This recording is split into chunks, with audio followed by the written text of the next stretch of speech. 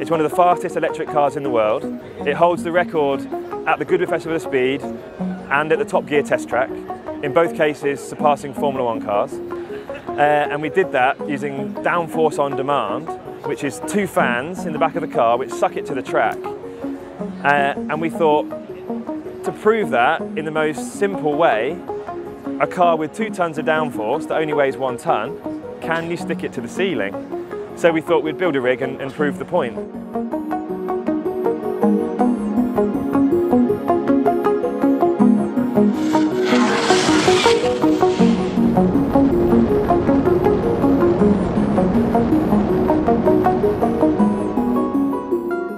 It sounds like a jet when it drives past, which is unique for electric. That's what the fan system does. And people didn't even realise it was electric. They go, oh my goodness, what was that? That was so cool. Um, so it starts to sort of change perceptions on that, of what's possible from a performance and an emotional point of view.